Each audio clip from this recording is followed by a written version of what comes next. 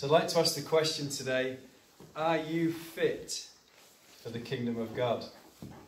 Are you fit for the kingdom of God? We see Jesus here, um, a Jewish man walking through Samaritan land. And says that the Samaritans didn't receive him. Now, to understand a little bit of the history between the Jews and Samaritans, they're basically arch enemies, really. They didn't like each other at all. And Jesus was on his way to Jerusalem, which was the, the capital of Jerusalem. It was the centre of worship um, for the Jewish people. He was passing through Samari, um, Samaritan land and they didn't receive him. In one sense, they'd already prejudged who Jesus was. That they'd made a decision thinking, oh, he's a Jewish man, he must be like this, this, and this. Our ancestors, we've had trouble with the Jews for, you know, hundreds of years. And here's another Jew, and he's on his way to Jerusalem. You know, he's someone there that we can just ignore and not even stop to ask who this Jesus is. They prejudged him. I just wonder how many people in our culture prejudge Jesus. You know, often you might speak to someone about Jesus and, you know, offer them a tract or try and have a conversation with them and, um, you know, quite politely say, I'm not, I'm not interested, not interested, mate. Yeah. I don't believe that stuff. I don't want any, any of that stuff. Yeah. I'm not into all that. I don't want it. But the question is, is, is into all what stuff? Which stuff don't you actually want? That's the, the problem, is that people have prejudged who Jesus is. You're coming in the name of Jesus, and they say, I don't want it. Before you've even fully explained what it is that you're trying to, to tell people about. You know, people have had bad experiences. I'm not belittling that. Bad experiences of the church. People have perhaps been involved in the church. They've seen hypocrisy. They've been hurt by people within the church.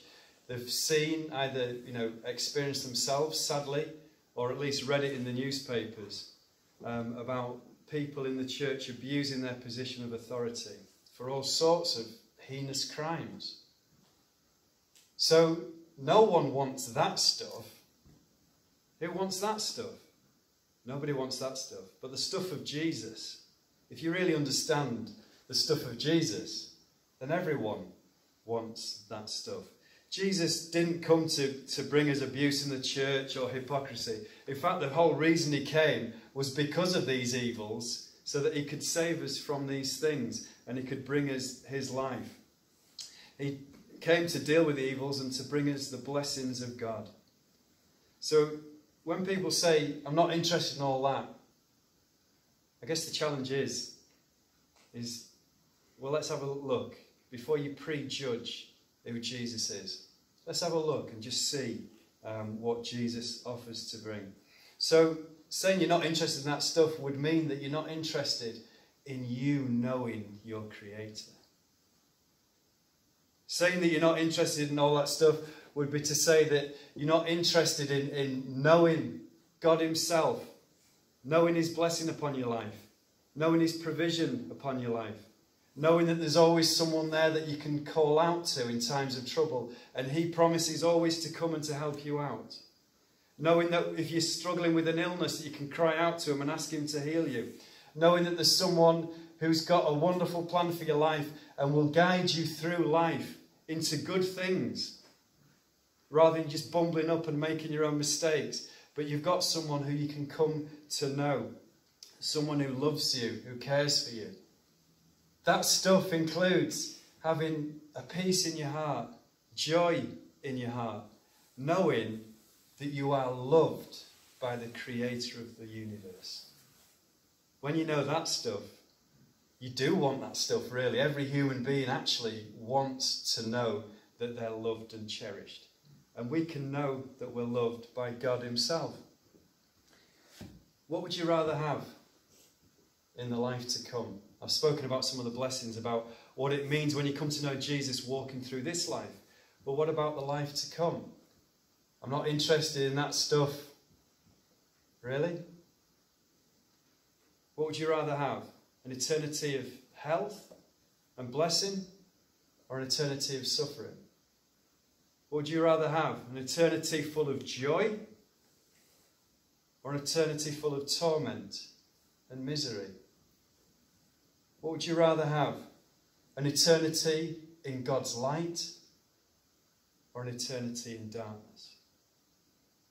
When someone says, I'm not interested in that stuff, they really don't know what stuff they're talking about that they're claiming not to be interested in. If you can have your eyes opened and actually see the realities of what Jesus is offering us, if we actually realize that we're, we're already in the situation, then we will be very interested in the stuff that Jesus has got. So we see the Samaritans had prejudged Jesus, and then we see the disciples' reaction. Uh, basically, wanting to call down fire. Verse 54, if you look on your sheet there. Lord, do you want us to tell fire to come down from heaven and consume them? So they're, they're angry. They've seen how glorious Jesus is. They've seen the beauty of Jesus and the blessings of following Jesus and where Jesus is leading them to life. And we've got these people who've come in and prejudged Jesus and, in a sense, offended the one that the disciples loved. Their reaction is, Lord, send fire down upon them. Bring, in effect, bring judgment. Will you not call down judgment upon these, these people? The fact is, is that we all will face judgment. We'll all have to face God one day. We'll have to give an account for our lives. We'll have to explain our sinful actions, why we lived for ourselves rather than living for the glory of God and the good of other people, why we took those selfish decisions, those things that hurt other people, those things that offended Almighty God. We'll all have to stand before God. We all deserve to, to have the fire of God upon us, the anger of God upon us, the judgment of God upon us. But did you notice what Jesus did to the disciples? He says he turned and he rebuked them. He told them off. He said, Look, don't be too hasty to bring judgment upon these people. You know, God's not a God who just flies off the handle at anything comes down angry at any little transgression and is there to come and, and to squash people. The Bible says that God is merciful and gracious, that He's slow to anger and abounding in steadfast love and faithfulness. God's patient with us. By rights, we've offended Him, we've hurt other people, we've rejected God. By rights, He should send the fire of judgment upon us but he's slow to anger, abounding in steadfast love and faithfulness. He gives people an opportunity, he gives people time to repent, to rethink our ways, to realize that we've hurt God, but also realize that through Jesus Christ there's a way to get right with God. There's a way to have peace with God. There's a way to be forgiven. There's a way to be given a new start and a new beginning, as the Bible describes it as being born again. The way that God has done this is through the cross. Did you notice where Jesus was going when he's passing through Samaria? Verse 53 says he, his face was set towards Jerusalem. It said earlier on in this same chapter in Luke's Gospel that he described himself the Son of Man. He's talking about himself. The Son of Man must suffer many things and be rejected by the elders and chief priests and scribes and be killed and on the third day be raised. So he was predicting that he needed to go to Jerusalem. And the reason he was going to go to Jerusalem was because he knew that he was going to be crucified. He was going to be killed on a cross by the Romans. But he also knew that he was going to be buried. And he also knew on the third day he was going to be raised back to life, thus proving that he truly is the Son of God. To be fit for the kingdom of God, you've got to start with the cross. You've got to come to the cross of Jesus Christ. You've got to come and realize that we deserve the punishment for our sin. But Jesus Christ came in, in the world's greatest exchange that's ever been known. That He came and He took the punishment for our sin. He took our wrongdoing upon Himself and was, was punished by God on the cross so that we could escape eternal punishment. And in the exchange, He takes our sin but he gives us his righteousness and he gives us his life. He was raised again on the third day, resurrected to life. And anyone who puts their trust in the Lord Jesus Christ can be transformed by that same resurrection power, that they can be born anew and receive a new life in God. But we need to have faith. We don't want to reject that stuff. We need to realize that that stuff's true. The promises of God are true. And we need to reach out in faith and receive it and believe that Jesus died for us and believe that Jesus can give us a new life. And so we see the, the verses 57 to the end three different types of people and how their faith in Jesus, different obstacles really, which show us what type of faith we need to have if we are to be fit for the kingdom of God. So, verse 58, first of all, this guy comes up and says to Jesus, I will follow you wherever you go. Wonderfully, he's got a desire in his heart to follow Jesus. He's seen something about Jesus. He's, he's seen the blessings that you can have in Jesus, and he wants it. He's seen the blessings not only in this life, but in eternity. And he, he wants to follow Jesus. He desires Jesus. He's seen something of the glories of God. But this man's problem was that he, he hadn't counted the cost of what it means to follow Jesus. So look, verse 58.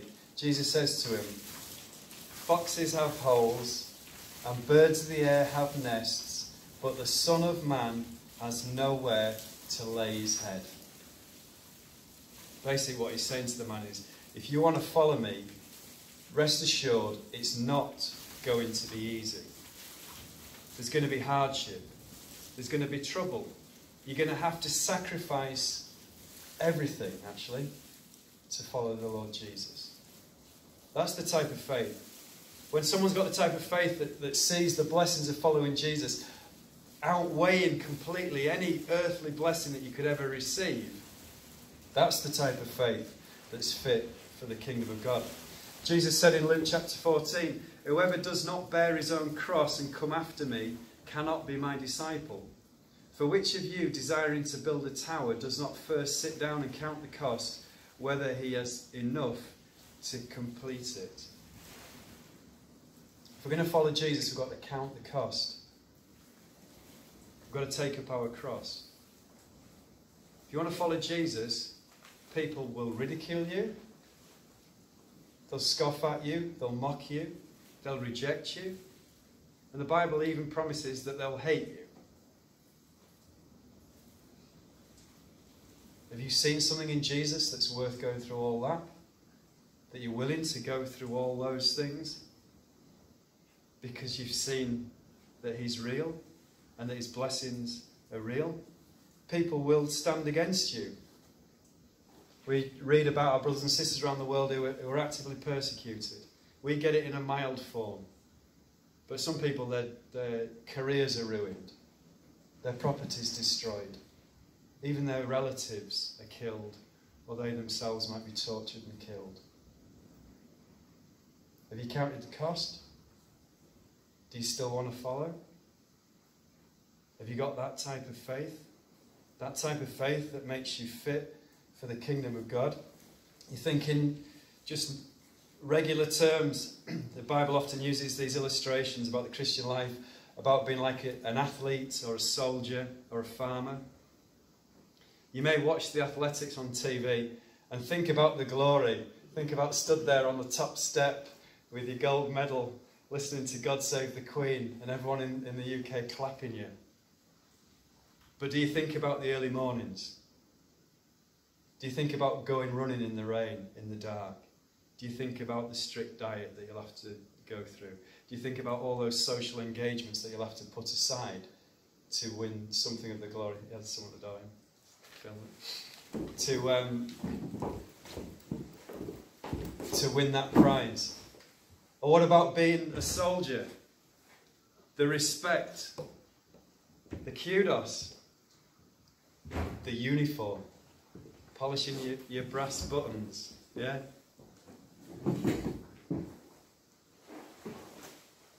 Even the provision of being in the army, all your needs looked after, as much as you can eat in the army. Do you just think about the glory or do you count the cost? what it actually means to be there when you've not eaten for two days and you're bunkered into a place where people are taking pot shots at you. We've got to count the cost. Or what about the farmer? You think you might think about the riches of the farmer. You might think about if I could have all these, these fields and these herds and all these riches. But did you consider the times of disease? Did you consider what it's like to be on a hillside when, when the snow's driving in your face and everyone else is indoors sat in front of the fire? There are many glories to certain occupations in life, and there truly are some wonderful, awesome glories for the Christian. But the one who's going to be fit for the kingdom of heaven, the one that will receive these glories, is the one who's counted the cost. We see another person in verse 59 that Jesus calls and, and says, Come and follow me. But he says, Lord, let, let me first go and bury my father. There's nothing wrong with burying your dad. But Jesus says to this man, Leave the dead to bury their own dead, but as for you, go and proclaim the kingdom of God. Jesus isn't rebuking him for burying his dad. That's not a sin to bury your father. But what he's doing is he's challenging him about who is first in your life. If you're going to have the, be fit for the kingdom of God, you've got to have a faith that puts Jesus first in absolutely everything. You've got to have a faith to realize the privilege of what it means to be called by God to follow Jesus and to serve God. Luke 14, Jesus says, If anyone comes to me and does not hate his own father and mother, and wife and children, and brothers and sisters, yes, even his own life, he cannot be my disciple. So, what Jesus is saying there is that to be a Christian doesn't mean you've got to actually go around and hate all those people in your family, but it's a relative thing. That your love for God, your love for Jesus, when you compare that to, to the, the love that you might have for your nearest and dearest, it's like a hatred because the love for God is so strong. Jesus was challenging this man to concentrate on the things of eternity. You know, there'll always be someone in the world who will do worldly things, earthly things, earthly occupations. But if God calls you to come out of the world and to serve Him and to proclaim the kingdom of God, are you going to say no? Or are you going to say, hang on, God, can I just do this first or whatever? Do we realize the privilege of what it means to be called by Almighty God to come and follow him. Imagine if the Queen wrote you a letter and said, Look, I want you to give up your occupation and come and serve me in the palace. I'll provide everything for you. It'd Be a bit insulting to say, Oh, I'm sorry, sorry, love, I'm not really into all that. I don't really want to do it. But imagine that times infinity. We're talking about the God of the universe asking us to come and follow him so that we might serve him.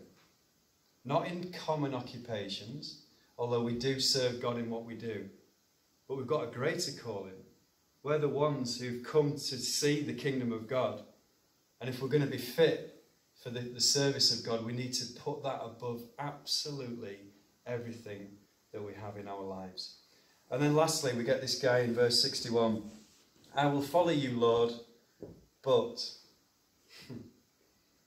I will follow you, but. You know, following Jesus, there are no conditions. We're not trying to enter some sort of agreement that, like, Jesus says, you know, I want you to follow me, and if you follow me, I'll give you all these things. And you say, yeah, okay, I'm happy to follow you, but I want to put this clause in, this clause in, this clause in, this clause in, this clause in. It doesn't work like that. If you're going to be fit for the kingdom of heaven, you realize that, that when Jesus called you, it's a great privilege and you're just going to go and follow him. You've got to follow on Jesus' terms. Basically, he's saying, if you want to find eternal life, follow me. If you're not bothered and you want an eternity of darkness and misery and a life without God that doesn't mean anything, then don't follow me. There's no negotiation. The one who follows Jesus Christ can't have a foot in both camps. You can't say, Well, I want to keep a bit of the world and my old life, but I also want this new life in Jesus. You can't have a foot in both because they're moving in opposite directions. You may be very good at the splits, but at one point it's really going to hurt. Yeah?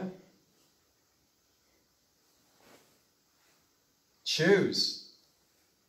Do you want your life and the things of the world? Or do you want the life of God and the things of Christ? There's no buts if you want to follow the Lord Jesus Christ. Jesus said, verse 62 No one who puts his hand to the plough and looks back is fit for the kingdom of God. You walk in your way, the Lord Jesus calls you. He says, Turn around and follow me. If you're going to be fit for the kingdom of God, you've got to turn around and you've got to face the Lord Jesus and you've got to keep walking, following him all the way into heaven itself, into eternity. He says, You're not fit if you keep looking over your shoulder. You keep drawn back to the, the pleasures and the sins that you used to be involved in. You're not fit, if that's the case, for the kingdom of God. The one who's fit fixes their eyes upon the Lord Jesus Christ and just follows him. Is so taken by his glory and his beauty and the blessings that he gives us. Why would you be interested in what you've just left behind? So the challenge is, is are you fit for the kingdom of God? Do you believe that God's kingdom is real? Do you believe that following Jesus, firstly to the cross and then out from the cross, is the only way to come in to the kingdom of God? Are you willing for the whole world to hate you because of your allegiance to Jesus? Are you willing to forsake everything, every worldly occupation, every success, that if the Lord tells you to leave it behind, you're willing to let go of it so that you might serve Him freely? Are you willing to follow Jesus wholeheartedly and resolutely, looking to Him and never looking back? If you are, then you are indeed fit for the kingdom of God.